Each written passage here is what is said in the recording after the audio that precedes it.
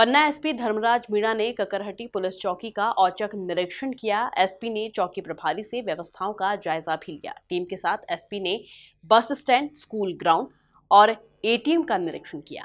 पन्ना police अधीक्षक धर्मराज मीणा द्वारा पन्ना कोतवाली के ककरहटी चौकी का देर शाम निरीक्षण किया गया और चौकी प्रभारी को आवश्यक दिशा निर्देश दिए गए। इसके बाद एसपी ने बस स्टैंड, कन्या high school ground, SBI, ATM का खुद मौके पर पहुंचकर निरीक्षण किया। मौके पर उपस्थित लोगों से नगर की मुख्य समस्याएँ भी जानी। इसके साथ ही पुलिस से संबंधित समस्याओं के लिए चौकी प्रभारी और एसपी से संपर्क करने के लिए कहा गया।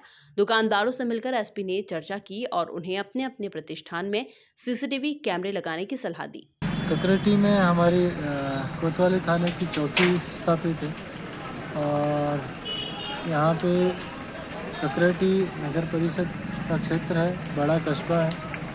तो किस प्रकार से यहाँ की पुलिस की व्यवस्था है? क्या गश्त प्रणाली है? सिक्योरिटी की स्पेसिफिक क्या क्या समस्या है? उसके संबंध में आज सिक्योरिटी चौकी प्रभारी श्री कृष्ण महावरी और यहाँ के स्टाफ से चर्चा की, साथ ही सिक्योरिटी कस्बे का भ्रमण भी किया।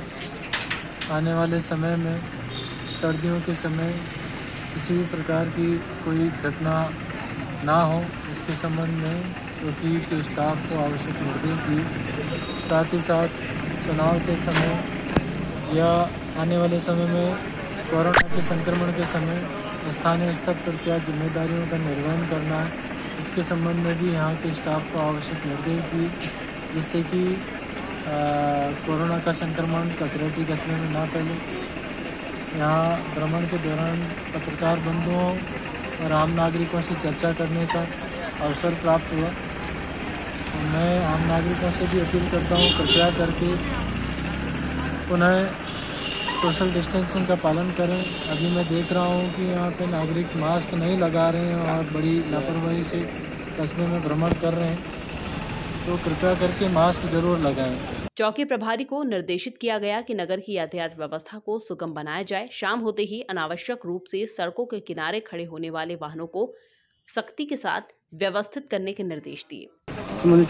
नगर परिषद के सामने ही शासकीय कन्या उच्च माध्यमिक विद्यालय है।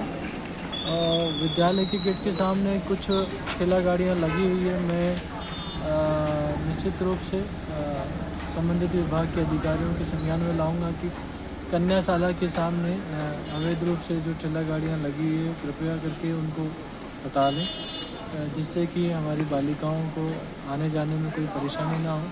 दूसरा ट्रैफ़िक व्यवस्था में, यहाँ तहाँ पार्किंग बाज़ार में मेन सड़क पे कर देते हैं।